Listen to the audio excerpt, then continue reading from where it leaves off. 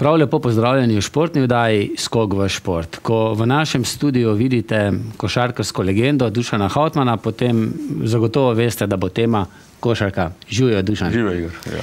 Ker nekaj časa se nisva videla, ja, zdaj pa spet uh, velik trenutek, uh, mogoče trenutek resnice, resnice za našo košarkarsko reprezentanco. Dušan, re, uh, to Evropsko prvenstvo organizirano spet v večjih državah. Zanimivo, ne?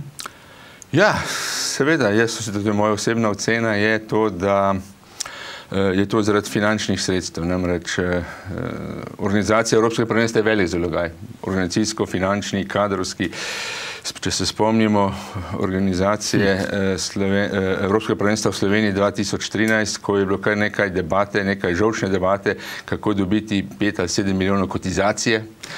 No, sicer, hvala Bogu, država je to nekako uspela najti. E, takrat, če se spomnijo, tudi e, ni bilo nekih, nekega velikega zanimanja za organizacijo. Praktično ni bilo nobene druge države, kako Slovenija, ki se je prijavila na razpis. Jaz mislim, da je to glavni vzrok, da so zdaj pač odgovorni ljudje na FIMBI oziroma na FIBI šli, šli v, to, v to zadevo več, več držav. Uh -huh. Seveda se stroški se porazdelijo, seveda tudi, tudi popularizacija malce, verjetno, ampak mislim, da je glavni vzrok je glavna organizacija in pa seveda finančna sredstva, ki so potrebna.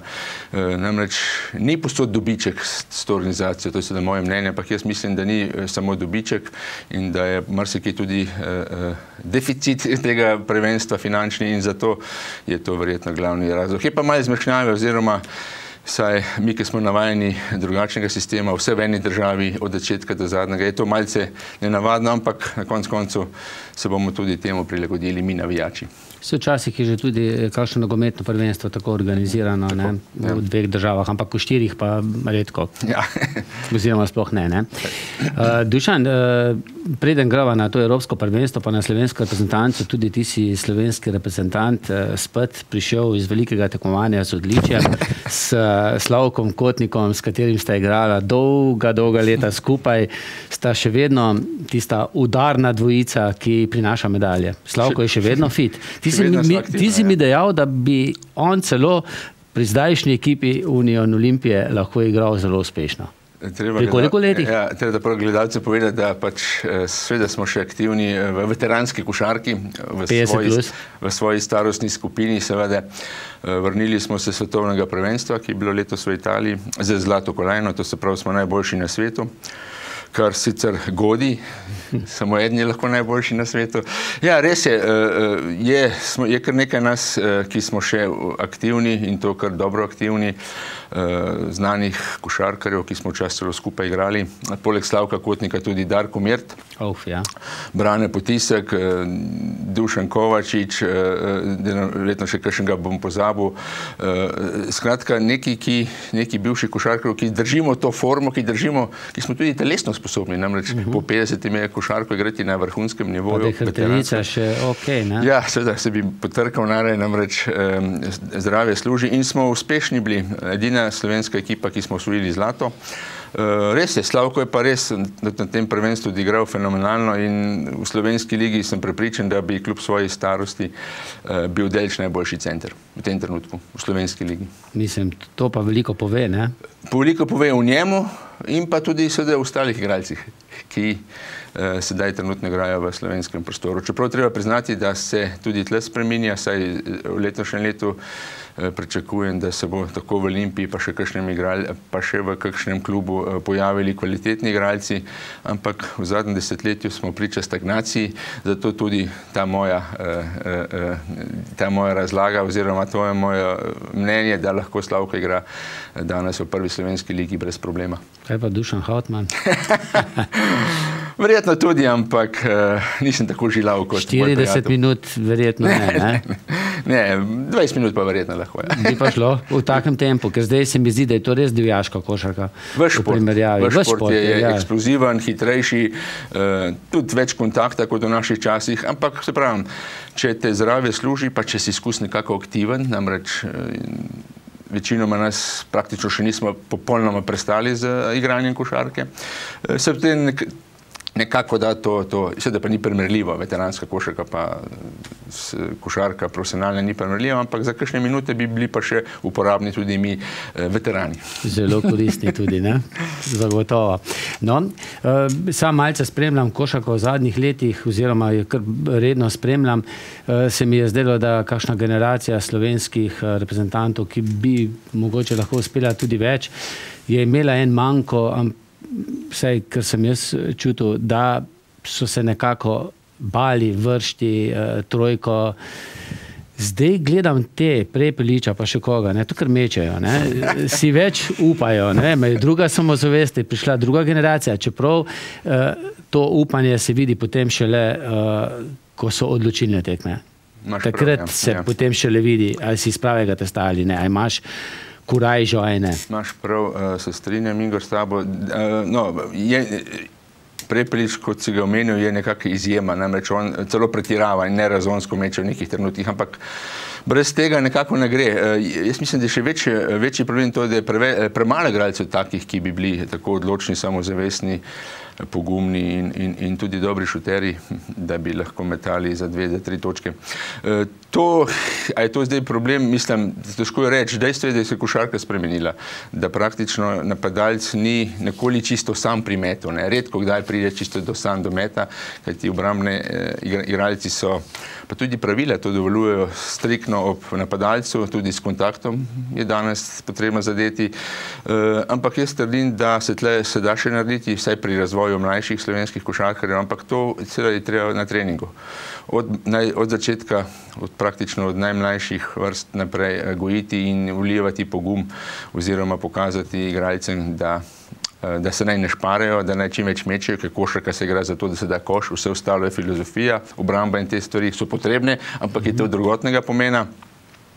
Eh, je pa tudi res, da po moji oceni, a pa po tej šestletni karieri trenerja, ki sem imel, lahko rečem, da je eh, teže naučiti eh, napadalca, košarkaša napadalca, kot pa obrambo. Namreč za obrambo je potrebna volja, neka pravila so, za napadalca moš pa malo tudi prenesti na svet občutka ne? in to pa nima marsikdo. Recimo Gudrič ga je imel, ne? Prosim? Gudrič ga je imel. Ja, seveda, ja, moj igralec Gudrič, ki je v Zagorju imel in je praktično bil tipični primer ameriškega Amerikanca, ki zadane tudi takrat, ko človek misli, da ne bo.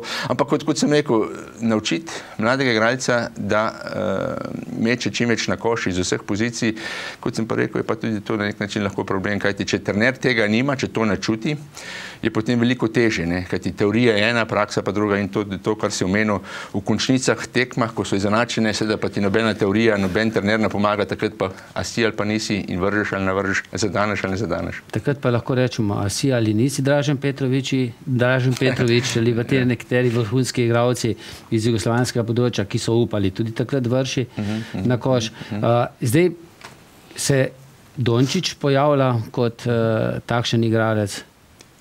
Ja, vse v njemu je verjetno bilo že vse zapisano in rečeno. Aco ga je zelo pohvalil, ne? E, čeprav, no, malo je tudi taktično, namreč smemo pozabiti, da je Aco trener Hrvaške reprezentance, ki je naš konkurent e, na Evropskem prvenstvu prejslej. E, dejstvo je, da je Dončić pač igralec, za katerega se veliko pričakuje. Jaz ne bi toliko pričakoval že zdaj na tem prvenstvu. Uh -huh. Jaz sem prepričan, da bo osciliral in da bo od dobrih partij imel pa tudi slabo. Jaz bolj veliko več pozornosti pa pričakujem več od igralcev starejših, ki so že več let v reprezentanci in ki naj bi vlekli. In pa seveda od novega, navedni zahrečeno slovenca, eh, Američana, ki, je, ki bo po, po, pomagal naši ekipi, predvsem pod košem. Uh, Dončić bo pa seveda dal svoje, zdaj koliko jaz pravim težko rečem, ampak eh, to, je pa, nek, da je pa, en, pa ne, najboljši igralec trenutno v svoji starostni skupini v, v, v Evropi ali pa celo še širše, pa so pa že spovedali eh, večji strokovnjaki od mene. Tudi na vseh pozicijah ne mu kar dobro gre. Ja, veliko je to, da ima pač telesno rast tako, da lahko igra od playmakera do podkošem, kar je velika mhm. prednost. Mene zelo spominja na, na, na razvoj nekega eh, igralca, ki ga ne vem, če se bojo gledalci eh, spomnili, Dejan Bodiroga. Aha. Njega se tudi spomnim, ko je nekako rastel tudi v Ljubljani, je treniral pa potem v, pri Stefanelu v Italiji, pri eh, tem našemu bivšemu trenerju eh, in je prav tako nekako isti slog igralca kot Dončić. In Vemo, da je Dejan Bodiroga postal večkrat evropski prvak, eden najboljših igralcev vseh časov, srpskih in evropskih. In Luka je zelo podoben, ima zelo podoben goji stil igre. To se pravi, lahko vse igra, ni hiter, ni počasen, ni visok, ni nizek, skratka vse igra, predvsem je pa važno, da mu glava funkcionira, kar je pa velika stvar, da pri teh letih tako intelektualno igra, takih je pa res malo igralcev. Dušan je z njegovimi ne, mišicami, sklepi, vse v redu. Vidim, da je vedno čisto visoko oblečen v razne pripomočke. Ja, malo nenavadno to je. To je mene malce strah. Malo nenavadno je, jaz ne poznam vzadja, ali je to preventiva, ali je to res že kakšna mogoče težava, upajmo, da ne, to ne poznam. Eh, ampak pri 18 letih, če, če se spomnim, to praktično najboljših letih, še naslednjih deset let poškodbe neke velike ne bi smel imeti. Čeprav se sedaj igra seveda drugače, čeprav tudi Luka je igral v Realu, kjer so obrmenite večje, Eh, igrajo tudi za več selekcij, mladince, mhm. člane, skratka, veliko tekem imel. To je pa tisti, ki je uh, v naših časih mogoče ni bilo tako toliko, da so igralci preobremenjeni si ti igral z bandažami, eh, ko si ne. bil star 25 ne. let? Je mene zdravje služilo, kot so že nekaj rekli, zato lahko še danes skačem na tem nivoju. Je pa res, da sem eno leto moral igrati z bandažo, namreč eh, kot zanimivo smo mogoče eh, imeli smo trenerja Vinka Jelovca, tudi legenda slovenske, slovenske košarke, Center, ki ja. nam je zabičal, oziroma celo smo celo v pravilniku, da moramo se vsi vsak dan bandažirati preventivno. Pomeni, da smo morali toliko prej, gležne seveda, toliko prej priti na trening, kar je bila seveda muka in smo čakali tam pol ure in uro v vrsti pri našem fizioterapeutu, da se tudi nas je vse bandažiral. In ker smo pač morali, ne zato, da je bilo kdo poškodovan, ker smo morali in smo se s tem izognili nekim poškodbam gležna. To je bila neka muha oziroma preventivna akcija našega trenerja, hvala Bogu samo na leto, ampak te bandaže pa to vrstne priprave kar zauzamejo nekaj časa uh, uh, igralcev pred treningom in pred tekmo seveda. Uh mhm. -huh. No, uh, z Luko nisi igral, igral si pa z njegovim očetom zagotovo. ja, Borben. Jaz se ga spomnim kot tistega borbenega, ne? brezkompromisnega ja. košarkarja. Seveda, se to so geni so se prenesli, sam s tem, da so se potencirani preluki uh -huh. na večkratno, ne? Saša pač ni bil na tem nivoju. Ima pa tisto uh, športno srce, športni pristop. Želja. In je tudi vzgajanje, Luka očitno bil od začetka kot športnik in vse, vse to se zdaj seveda uh, manifestira v, to, v tem, da igra odlično že zdaj pri 18 letih. Uh, Goran Dragič, bo tu Zorana ne bo, uh, je to manjko? Manjko je prav gotovo, saj v nekih obrambnih zadevah, pa tudi kot lahko beremo, pa tudi kot smo gledali, Zoran je pač bil borc. Hm ki ga bo seveda eh, Slovenija eh, bi ga potrebovala. Beremo lahko tudi, da tudi ostale reprezentance ne bojo popolne, tako ja. da tle jaz ne bi kaj velik delo panike. Eh, to, kar imamo, imamo. Mene najbolj veseli to in zato sem tudi bolj pozoren na ratu zdaj po izjavah vodilnih na košarkarski zvezi, da gredo na kolajno. To je ne, mogoče nekaj novega, jaz tega nisem navajen, namreč v Sloveniji smo vedno bili bolj tihi, eh, nismo bili pogumni v teh izjavah. Smo rekli vedno, da gremo naprej. Gremo naprej, pa bomo dali vse od sebe, pa kar bo pa bo in mislim, da to ni pravi pristop. Zato tudi ni, košarka še nima kolajne, kajti imeli smo že boljše reprezentance, kot je ta, pa niso osvojili.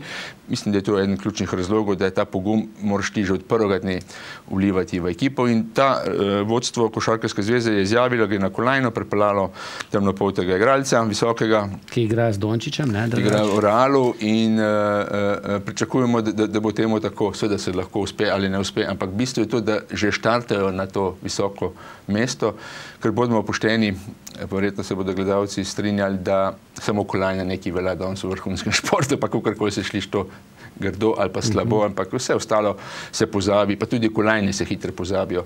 Eh, sploh je pa kolajna dobra bi bila za košarko, ki jo nima še. Namreč vemo, da vem, odbojka je uspešna v Sloveniji, mm -hmm. rokomet je uspešni, uh, uh, nogomet je tak, tak uspešen že vedno in tudi najbolj popularen šport v Sloveniji.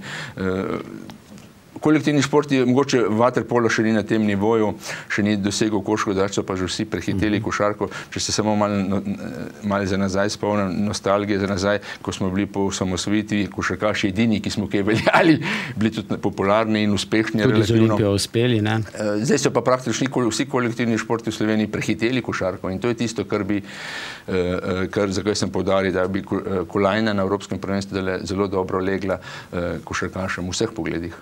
No, bral sem intervju z Goranom Dragičem, ki pravi, da so jutra zadnjih letih bistveno drugačna, kot so bila, da zelo težko ostaja, da se zelo težko sestavi. Vse glede na njegov način igre, pa ko se s tistimi orjaki bori tam v ameriški profesionalni ligi, ni čudno, pa vem, da daje več kot 100% na vsaki tekmi.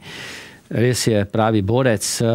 Je to nas lahko kaj strah, da bo prišlo do res preutrujenosti v sami končnici, če daleč pridemo? Se jaz osebno mislim, da se je Goran tudi zato poslavlja, zaradi teh težav, ki si jih omenil, namreč ne samo NBA, vsa profesionalna košarka, tudi evropska, na najvišjem nivoju seveda je zelo zahtevna in težave vsake jutranje jih popolnoma razumem, da so Goran se verjetno za tega poslavlja od reprezentance in glede to, da bo še nekaj let igral v Ameriki, sedaj mora tudi nas razmišljati. Zdaj, poškodba je vedno lahko prisotna, ne? ampak te fantje so pod takim zdravstvenim kontrolom oziroma pregledom, znajo se sami prepravljati, merkajo se, čuvajo se, izogibajo se vseh, vseh ostalih aktivnosti, samo zato, da ne pride do poškodb ali pa karkoli. Tako da jaz verjamem, da, da novih poškodb v naši reprezentanci ne bo in ne bi smelo biti. Goran pa sploh ne, namreč na njega se največ pričakuje. Težko se je zamisliti igro brez njega. Jaz verjamem, da bo zdržal. Vsaj tako deluje, tako na odzunaj, ki ga gledamo strani. In da bo vlekel to reprezentanco. Ampak sam ne bo dovolj, bojo morali tudi ostali, da večinoma nad, nad svojimi zmožnosti bojo morali igrati, da bomo se vrstili sedaj v končnico. No, če smo na tem uh, branilskem paru zelo močni, pa z tem novim slovenskim američanom, uh, tudi na krilnih položajih, malce bolj, uh, smo tudi na centrih. Kje vidiš ti mogoče manjko? Zdaj ja. ga je. Kot si na, v, že malo nakazal, pod košem smo zelo, bom nam rekel, slabih, bom nam rekel, še ga užalo. Dejansko smo, nismo konkurenčni najbolj. Za izjemo, če bo seveda Američan igral pod košem, uh -huh. koliko se ga jaz spomnim z igre Realom, ga nisem veliko, veliko videl pod košem igrati, bolj sem ga videl na zunaj, čeprav je visok igralec. Pod košem razen Vidmarja praktično nimamo igralca, ne, in uh -huh. ki bi bil enakovreden ostalim in tle to tudi ostale reprezentance vedo.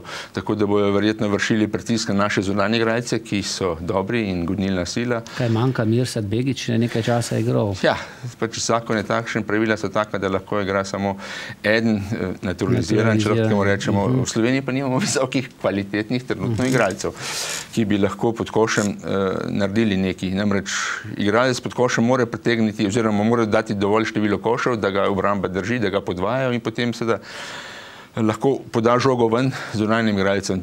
Tako da tle je minus, prav gotovo, ampak jaz stavim na naše zunanje kvaliteto zunanjih igralcev, na njihovo hitrost, na njihove izkušnje, ki jih imajo in da bodo pač oni tisti presežek, ki ga pričakujemo. Ampak tako američan kot uh, Vidmar bo tam morala dati tudi pod košem določeno število košev, to pa je nedvomno, če hočemo se jeti v bitko za kolajno. Paziti na osebne napake, ne? To in, in zadevati proste mete, seveda. Ja, Tako da to, uh, verjamem, da se to mora poklopiti in na tem verjetno delajo reprezentanci. Uh mhm. -huh. Priznam, da te reprezentanče tekme zdaj pripravljene ne gledam toliko, ker mislim, da je to pač uh, ni pravi odraz. Čeprav nas, naslednja tekma, ki bo s Hrvati v Stožicah, bo pa že nek ogledalo. Uh -huh. uh, ne smemo pozabiti, da v Ljubljani pred polno dvorano, pričakujem polno dvorano, tak interes je namreč v Ljubljani trenutno, težko je dobiti karte. E, pričakujem, da bo reprezentanca dobro igrala in premagala hrvaško reprezentanco e, in tle se bo pa že videlo, da e, kje, kje je, kje je e, mogoče kakšen še primankljaj, ampak verjamem, da strokovni štab je izkušen, e, da ve, kaj dela, tako bom rekel. Nekaj na prvi tekmi bil je razen Lorbe, ki se vrača hmm. po poškodbah fali, ne? zdrav. Uh, razen bi pa seveda, to je bila pa druga pesem, potem bi lahko že bolj optimistično govorili o barvi kolajne, če bi bil razen takšen, uh -huh. kot je bil, ampak osebno mislim, da razen ne bo več igral košarko na visokem nivoju, ker jaz poznam njegove poškodbe kolen, pa tudi v razgovoru pred njim. Uh, uh, mislim, da ne bo škoda za njega in za slovensko reprezentanco, predvsem pa za njega. Namreč fant ima rad košarko in dober košarkaš je bil in je. Ampak uh, mislim, da ne bo več moral pomagati naši reprezentanci. Greš kaj na Finsko, Helsinke, na, naša skupina bo imela uh, Poljake, Grke, Francoze. dobre domačine, pa islance. V nogometu so uh, islanci uh, navdušili, navdušili, zdaj ne vem, kako so ja, košarki dobri. Uh, mogoče tudi Grki, Francozi, zagotovo. Uh, to Grki, Francozi, Slovenci, Poljaki. Ja, sej, Dobro, domačini. Verjetno bo treba zmagovati tudi za samozavest. Med štirimi mislim, da, da ne bo velikega problema, ipak mislim, da imamo dovolj uh, kvalitete. Čeprav v skupinah Španci ponavadi niti so se včasih prilezli naprej, pa potem postali evropski pa svetovni prvaki. To je vedno tako. Ni treba biti začetka najboljši. Treba samo zmagovati, tudi če je za točko dovolj. Bolj se gre za to, da je dober štart pomemben zaradi samozavesti. To je nič novega, nisem povedal, ampak to je pa še vedno velja. Bilo je včasih, tudi danes je pomembno. Dobro je prve dve tekme zmagati zaradi občutka, zaradi samozavesti, potem je vse lažje. Ampak seveda, pod pogojem, da imaš kvaliteto. Ne? Najprej Poljska, potem Finska, potem Grčija. Odlično razpored, če lahko rečemo, na, na prvo žogo. potem Islandija, pa spet Francija, potem, ko se bo verjetno odločalo o poziciji, mhm, kjer mhm, bodo. Ne? Mhm, A potem gre pa že ne izpadanje. Ne? Ja, sej, to je tisto. Ne? Te prvih, mislim, da je pet tekem ali koliko imajo ja. v, v, v prvem delu, bo, se bo že čutilo. Pa tudi videli se bo že forma, ne? ampak v bistvu je treba potrebi zmagovati in to fanti verjamem, da vedo in tudi bodo. V drugem delu se bo pa seveda pokazalo tudi nasprotnik, čeprav jaz se ne bi obrnil tukaj nasprotniki, ker so vsi premrljivi danes v Evropi. Ja, so, seveda so premrljivi, ni to, ko je nekdo si že naprej vedel za šlačilnici, da boš težko ali pa da ne more zmagati. Tega temu danes ni več tako. In, in, in samo pomembno je, da bodo naši ključni gradci v formi. To je vsa filozofija, da bo Goran in kompanija imeli dober procent meta, da bodo razpoloženi, zdravi uh, in, in potem je naskrbi za ta tudi drugi del. Ne. Maš mogoče favorita med reprezentancami še vedno? Španija, tam blizu, ne vem, Srbija. Francija. Francija. To so neki reprezentanci, ki imajo reputacijo takšno, da so vedno v vrhu, ne pa ni nujno, da bo tako. Ne spomnim se tudi Sovjetska zveza, no, Litva, pa vse to. Turki, recimo. Turki. Iz tega trdim, da, da ni več tako imenovanih bav-bav reprezentancov, ki so močnejše. Jaz bom zelo pozoren samo na našo reprezentanco, na njihovo igro, na njihovo formo, na, na njihove težave, če bodo in, in bom takoj videl, da do kam približno lahko pride. Je pa, je pa dolgo prvenstvo in stekmo tekmo. Ne. Tudi malo sreče je potrebno, smemo pozabiti, da, da ne bo kakšne poškodbe, da, da bo kakšna zmaga sladka v zadnjih sekundah mogoče. To je vse, to je vse uprit tej trditvi, ko si ti omenil, da ponovadi zmagovalci začetka komaj zmagujejo, pa ja. potem pospešujejo nekako v drugem delu prvenstva. Ampak jaz bi šel po vrsti, dajmo mi začeti zmago. Ja, jaz upam, no, da bo to uspelo. Uh, boš kaj spremljal košarko, prvenstvo tudi po strokovni plati, za kakšno medijsko hišo? Zaenkrat mi nišče ni poklical, tudi uh mhm. -huh. kolegi novinari vedo, da sem se malce distanciral od vsega tega. Uh mhm. -huh. Zdaj sem spet malce voljo dubo, ker so pač ambicije. Uh, kot sem že omenil, uh, večje uh, naše reprezentance, drugače me pač košarka malce uh, bila bolj postranska stvar, čeprav se mogoče nekomu čudno zdi po vseh teh 20-25 letih. Praktično je košarka meni pol življenja sem pustil v košarki kot profesionalni igralec, trener. Ja. Eh, strokovni delavec. E, ampak nekako se nasitiš ne, vsega tega in jaz sem zadnja leta spremljal samo neko kvalitetno košarko, to pa je predvsem bila vem, v Ameriki, v Španiji, v našem okolju sem kakšno tekmo od časa do časa sem pogledal v Sloveniji, drugače enostavno nisem drugače priznam, ne, spremljal naše košarke. Uh -huh.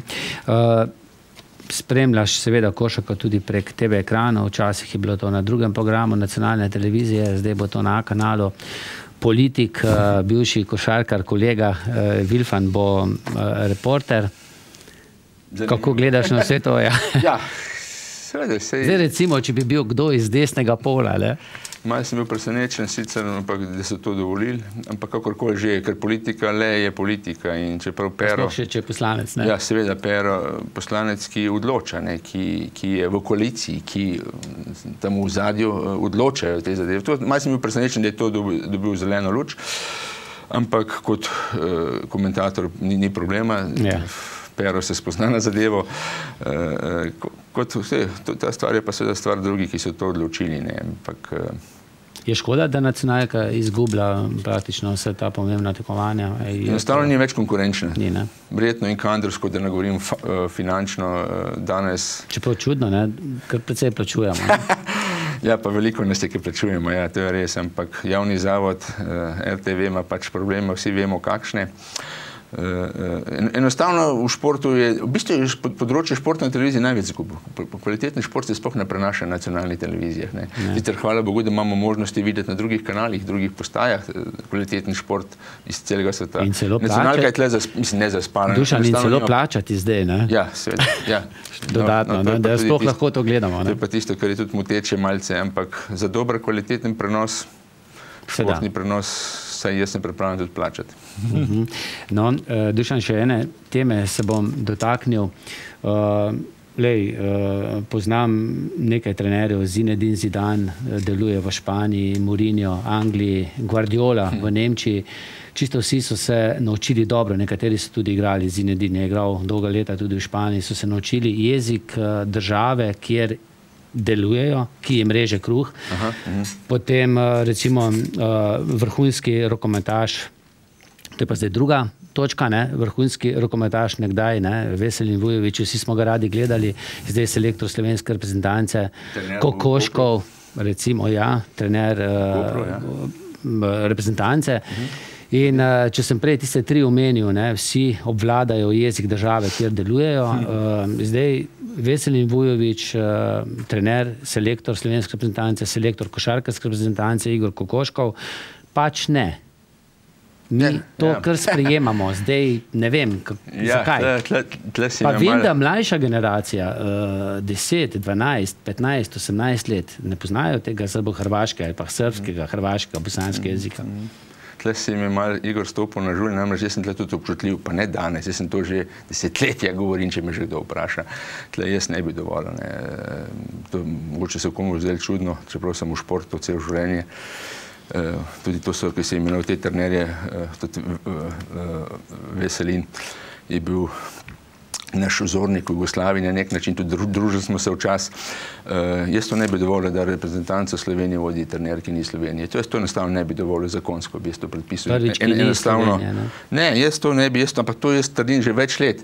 Čeprav me bojo dementirali, pa imajo uspehe, ne vem, tudi odbojka ima večje uspehe za tujim trenerjem, rokomet s tujim, košarka niti ne, pa še kar je šla v to. Čeprav rokometaši imajo tudi, imajo tudi evropsko medaljo, uh, ko jih je Slovenec vodil, ne? No, tudi to, ampak jaz enostavno to gledam kot slovenc, kot uh, občutljiv na te stvari in, in, in to ne bi dovolil. Uh, jaz se tle bojim, da je ta majhnost še vedno, čeprav smo že 25 let še več samostojni in nekako uh, bi lahko svojo glavo bolj pogumno razmišljali. Takrat v naših časih je bilo to bolj razumljivo, pa nismo imeli sicer tujcev, ampak vseeno smo bili preplašeni, nismo vedeli, kam gremo v Evropo, predvsem košarkaši, ki smo začeli odpirati pot športnikom v Evropi. Eh, zdaj pa to res ni potrebe. Jaz se sam Uh, uh, sicer, kot sem že rekel, temu, to ne podpiram. Uh, Jezen sem pa na odgovorne, ker so premalo pogumni, da bi ustrajali na domačih trenerjih. Vse, vse športi imajo veliko trenerjev. Sam Jasno, eh, je treba ustrajati, eh, eh, več let čakati mogoče nekoga, ampak vseeno rezultati več ali manj bi prišli enaki, kot so zdaj s tujem v, v, nekih drugih športih, ne predvsem mislim na odbojko, pa na rokomet, ko sta tuja trenerja pripravljala do nekih uspehov, ne, ne, ne sporno, ampak jaz tle ne bi, ne bi dovolil, ker mislim, da Slovenija lahko vodi samo Slovenci. V klubih je druga stvar, tle je stvar uh, biznisa, tle je stvar narja, tle se igra zaradi drugih stvari, v nacionalni reprezentanci pa ne. In to me moti, to me je motil danes, to me je motil pred 15-10 leti, ampak uh, še kar vodilni ljudje v teh športih še kar mislijo, da so druge boljši kot doma. Jaz pa pravim, da ni temu tako. Dušan, če pa že so tuji selektori, pa meniš, da bi se morali naučiti slovensko. Tako kot, ne vem, zdaj imamo spet primer slovenskega trenerja v reki. Ne, ne verjamem, da Matjaš Kek eh, v reki novinarjem odgovarja v slovenskem jeziku. Ne hrvaškim novinarjem. Slovenija je majhna, ne, neč novega, ampak eh, in trenerji, ki prihajajo sem, tako gledajo, da smo majhni in nas malo sem siguren podcenujejo, da bi se naučili naš jezik, poleg tega je tudi relativno težak slovenski jezik, to je vedo, vemo vsi, ampak vseeno, vse poskušali bi lahko. Koliko se mi prilagajamo državam, katerim gremo, pa se trudimo govoriti o njihovi, je tudi bilo oni lahko. Ampak tle je enostavno tisto, kot sem omenil, ne. imajo nas za majhno državo, uh, rabijo trenerja njihove in si mislijo in govorijo v tujem jeziku, kar je moteče, ampak uh, imajo to srečo, da slovenci znamo jezike in da to sprejemamo, ne. ampak po drugi plati se pa mislim, da bi prav, da bi to nekdo, ne, ne, nekoč tudi tem, ki je več rekli, če bo kdo rekel, kaj je to zdaj neki razdvajanje. Saj to, kot, kot si omenil, da bi bili nekako um, prisiljeni na vednicah, seveda se naučiti naš jezik, pa govoriti naš jezik. Čeprav so oni tle kratek čas, ne, te, te trenerji so par mesecev, pa grejo pa par mesecev, vse skupaj še eno. Čeprav po drugi strani, če ima pogodbo podpisano z, z reprezentanco ne, za štiri leta, recimo, ne, Dobro, zdaj, če je samo pol leta, to je ja. druga stvar. Ampak če imaš že izhodišče za štiri leta, ne, pa je pa mogoče lahko eden izmed pogojev, ne vem, v petih mesecih se saj toliko naučiti slovenskega jezika, da če ima kdo štiri leta slučajno podpisano, kar seveda spet sem proti temu, da, da se zaveže tako, eh, bi pa to nujno bilo treba dati noter v to pogodbo. Ampak eh, tle je tudi stvar eh, osebnosti teh trenerjev, ne? stvar inteligence, stvar, kot sem že rekel, tudi podcenevanja na nek način. Ko pride država, da vsaj poskuša nekaj komunicirati, ne? da pokaže, vse ni ne pričakujemo, da bo znal, ne? ampak, ampak večinoma nas odpika tako. No, lep primer je tavareš, ne? se je hecen, ko ga poslušamo, ampak se trudi. Se trudi dobil državljanstvo pred leti uh, in, in ker je pač ocenjen, da je to, je to ne, tisto. Ne. Če že moramo naturalizirati, demo take, ki kažejo pol pripadnost naši državi, ne samo na tistih tekmah, tudi tako izven igrišč, da so slovenci ne pa obnašeni in na koncu koncu pogovarjanju. Dušan, kako gledaš uh, v globalu na slovenski šport? Uh, zdaj, mogoče atletika kot mati športov nekako ni tisto več, kar je bila. Čeprav smo zdaj prišli do medalje, ne?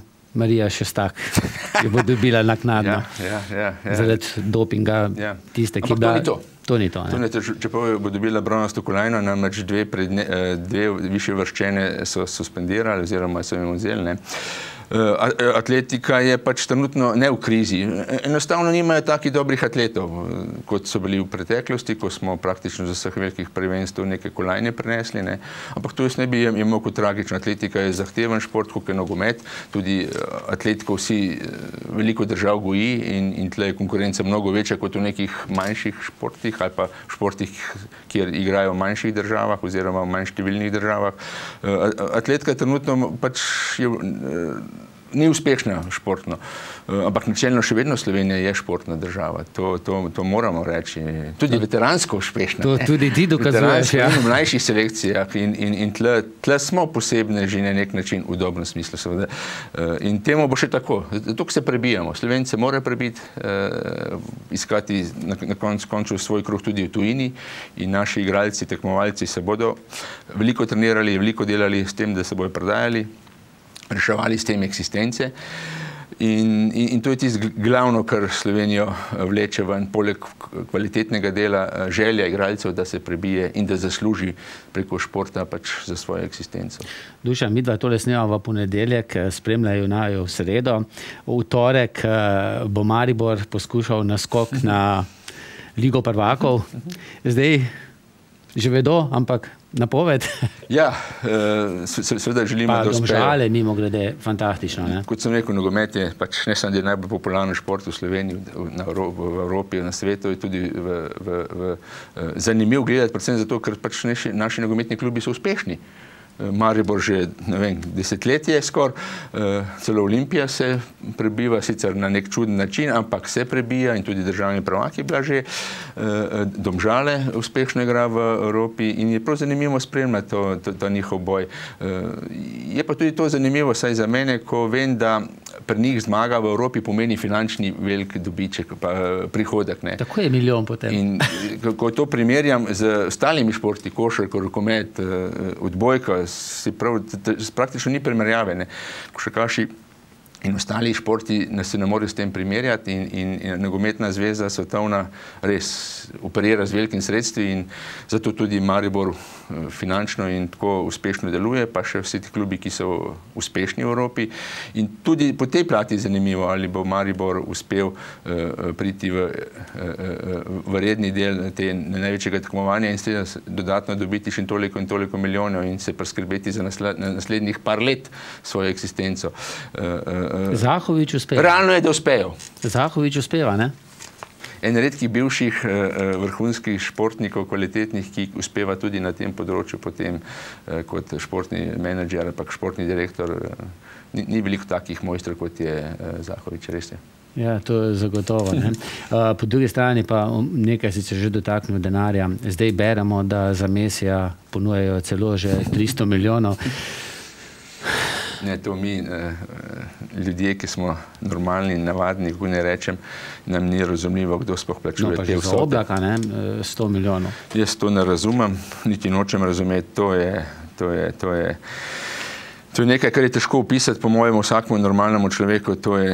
Ampak, če nekdo plača, potem je pač to toliko vrednost, ne, ne došel en športnik tako res. Meni je to nerealno. Prihaja denar ne, iz tega arabskega sveta ali pa mogoče iz Rusov, ne, kje? Recimo Španija, če se malo dotaknemo še tej smeri, Španijo, ki obrača take velike milijone nogometov, tudi v košarki, velike denar, po drugi strani pa država e, ekstremno zadolžena, v slabem stanju, e, v športu se pobrača tako veliki e, denar. In to ne gre z neko logiko in se bojim, da to je nek balon spet, ki se po enkrat poču in bo države vsi imeli zaradi tega. Mhm. Dušan, koliko se pa na tvojem ministrstvu oziroma tam, kjer deluješ, denarja obrača slovensko malo, verjetno. ja, seveda, mi smo pač v okviru slovenskih potreb oziroma zmožnosti. Na ministrstvu za. Spadeš kot. Ja, smo, sestavni, smo organ v tem ministrstvu, drugače jaz delujem na inšpektoratu šolstva in športa. Greš smo, pogledat, kakšno. Seveda, tudi v zasabi smo, smo redno prisotni, da jih podučimo, kaj je prav, kaj ne, kaj ti tle je v Sloveniji velika hiba. Športni zanesnjaki ali pa uh, športni delavci ali pa odgovorni ljudje, ki delajo v športu, nažalost ne poznajo dovolj športne zakonodaje. Jaz vedno pravim, da v mojem času ni bilo zakonodaje, ni bilo pravil, pa smo nekako smo sicer šli naprej, ampak ni bilo pravil, ni bilo zakonodaje, zdaj pa je in se je potrebno držati. Če je pa slaba, je treba pa spremeniti. Ne? To je ta filozofija tudi na področju športa. Uh, ampak nekih velikih problemov ni takih, da bi to potem ki preveč govorili. In tudi si mislim, ne, ko tebe kot inšpektorja vidijo, da si ne rečejo, zdaj pa prišla trda roka, uh, mehka roka, ne? že za trojka je bila mehka. Ponovadi je tako, da pride nekdo, ki pove, kaj je prav, in uh, lahko rečem, da nimam slabih izkušenj, ker vsi popravijo tisto, kar je potrebno. Ker enostavno vedo, če jaz nekaj povem, da je tako prav, je to tudi prav, zato ker je to nekje zapisano. To je bistvo, ne pa kaznovanje. Ne? In to je prav. Eh, mislim, da ljudje, če že imamo red, se ga moramo držati. Mhm. Ne pa, da se to dogaja, ker se dogaja z prvoligaško ekipo Ankaran, ne, da tam na primorskem ne dobi igrišča, ker bi lahko igral svoje domače tekme in zdaj igra v Dravogradu. Žalostno. Žalostno. Na nek ne. način in ni prav, da Ankaran bi zaslužil igrati. V nekdani skupni občini, recimo Koper. Ne. Spet smo pri politiki in predlagam, ja. da se izogibava čim bolj. ja, se bova. Uh, zdaj smo pa pri kulturi, ker zdaj v zadnjih poletnih mesecih ne snemamo kulturnih oddaj, potem nagradne vprašanja pa imamo. Eh, in ker gre sta šport in kultura skupaj, to je že v tvojem zakonu se tudi je. pokazalo. Ne? Že desetletja gremo naprej. Helena, žena, skupaj. kulturnica, ti športnik. Čeprav še čas skregamo, kdo ima premalo, kdo ima preveč denarja ali kultura ali šport, ampak na koncu pridemo skupaj, da imamo oboji premalo denarja, tako področje kulture kot področje športa v občini Litija. Seveda. Čeprav verjetno 300 milijonske pogodbe tudi niso na področju kulture ali pač ne. Ne vemo. Ne vemo, ne, kakšnega baletnika ali pa ja. pevca. Ne. No, mi smo vrsto pravi vprašali, v katerem mesecu poteka mednarodna kulturna prireditev, oziroma bo potekala v Trbojskem delovskem domu, Spekulo Martiju. Uh, zanimivo, zanimivo dogajanje, kjer se roboti sprehajajo po občini, po Trbovlah ne, in še marsikaj. Tako da ti priporočam, Hvala. tole bo septembra. Uh, pa prosim, da kar prvega žrebaš. Prvi žrebani prejme knjigo založbe Primos, Somatika, avtorja Tomasa Hana in stopnici za kino Zagorje. Uh, ja, september, Renata Božič, Ostenk 6, Trbovlje, tako še pokažemo, kje je v kamero. Renata, čestitke. Gremo še na drugo nagrado. Drugi žrebani pa prejme knjigo založba Karantanija, Peter Nos in štiriletni časi, ki je napisal Primo Suhadolčan iz stopnici za kino Trbole. Mimo grede, veš, kiro knjigo je napisal tudi Primo Suhadolčan. Ne. Pa film so zdaj po njem posneli košarkar, naj bo. Točno. Ok, prosim.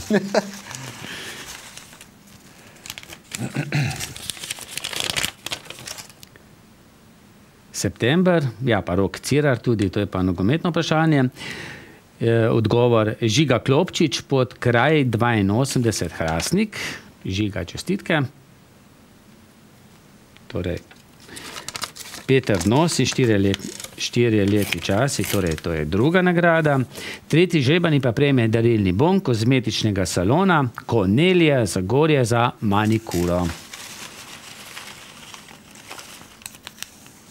Zdaj pa še nekoga iz Zagorja, verjetno. Upam, um, da bo za vse. Mogoče litija, ne? Težko, verjetno. ja, tole pa je Špela Klopčič, podkraj 22 80, če se ne motim, ja, Hrastnik, evo, to je pa tretja nagrada. Hrastnik, tokrat nič za gorja, mogoče pa naslednjič. Novo nagradno vprašanje pa je, kdo je avtor knjige, bom malce pomagal, o trbovskih slavčkih, tisti njihovi srebrni glasovi. Pred kratkim smo jo predstavili tudi na naši televiziji. Prvi žrebani prejme knjigo založbe Primus, Katarza, ki jo je napisal Slavko Skarlovnik in stopnici za Arkino Zagorja. Drugi žrebani prejme knjigo Tina Mamiča, protestanto in stopnici za kino Trbovle, tretji žebani pa prejme darilni bon kozmetičnega salona Petra Izlake za pedikuro. Odgovore s polnim imenom in naslovom pošljite na ETV, loke pri Zagorju 22 412 kisovec ali pa kar po elektronski pošti na ETV, afnaelektroprom.si do 4. septembra, ko se začne novo šolsko leto. Ne? Tako. Tako. Uh, Pa jaz upam, da bo takrat eh, že kar precej znanega v slovenski košarkarski reprezentanci. Ne? Sigurno bomo že vedeli, eh, ali, ali so naši, naše ambicije oziroma želje vseh nas eh, po kolani uresničljive ali ne. Kakšna barva kolanja? Kjerkoli sem, da bo za košarko, bom zadovoljen. Evo, jaz sem pa za zlato. Dušan, hvala ti za obisko studio, zagotovo še kdaj dobrodošel. Hvala za povabilo.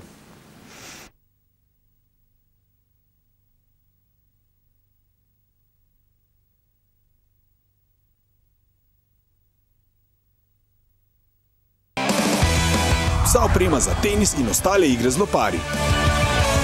www.lopari.si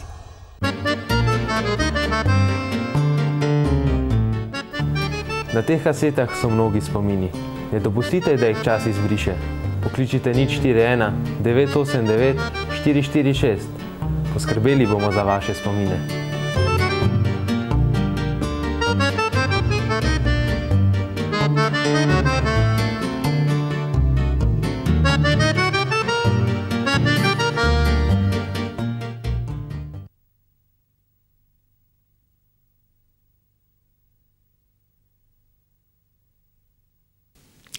Sledi še drugi del športne oddaje. Konec prejšnjega tedna so začeli z novo prvenstveno sezono tudi nogometaši tretjih lig. Uvodni krok je za savskima predstavnikoma prinesel polovični uspeh. Mi smo bili na tekmi v Trbovlah, kjer je Rudar gostil ekipo z jesenic in na veliko razočaranje kakšnih 150 gledalcev izgubil 5 proti 2. Gostje so izkoristili slabo igro domače obrambe in že v 24 minuti povedli kar 4 proti nič. Zadetek Nika Vodepa je vrnil nekaj malega upanja, ki pa so ga Gorenci hitro poteptali in svojih pet, svojim petim zadetkom že v izdihljajih prvega polčasa rešili vprašanje zmagovalca. V nadaljevanju so domači fantje zaigrali za spoznanje bolje. Zadetek za končnih 5 proti 2 za goste je s pravim evro golom minuto pred koncem dosegel Jan Sodenšek. Po obetavnem začetku, tisti lepi priložnosti v peti minuti, potem neverjetno padec v igri v pičih osmih minutah, trije zadetki, do polčasa še dva. Kakšen je vaš komentar? Kaj je vzrok? komentar. Ekipa Jesenice nam danes lahko zahvali za, bi rekel, podarjene naše tri točke. Dejansko smo jim omogočili zmago, čeprav se je videl, da telesno niso močnejši, fizično tudi ne v drugem polčasu.